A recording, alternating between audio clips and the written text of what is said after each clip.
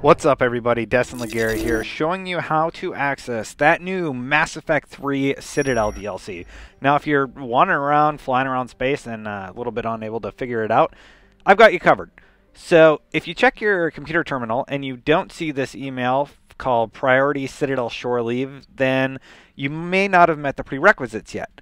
Now, first of all, you need to be past the mission Priority the Citadel. It's the second one uh, where some things happen at the Citadel and you need to rush back. Spoilers that involve Cerberus, that's all I'm going to tell you. And it also needs to be a save that's before priority Cerberus headquarters. Now, if you started the assault on the Cerberus base near the end of the game, also involving Cerberus, then you are unable to access the DLC, as far as uh, the Mass Effect 3 press release states. So anyway, if you've met those requirements, if you're past priority the Citadel, and you're before Cerberus headquarters, you should be able to access this easily. Now, to do so, just check out um, priority Citadel shore leave, read the email, and then fly to the Citadel. Once there, you'll be greeted and be able to start the downloadable content.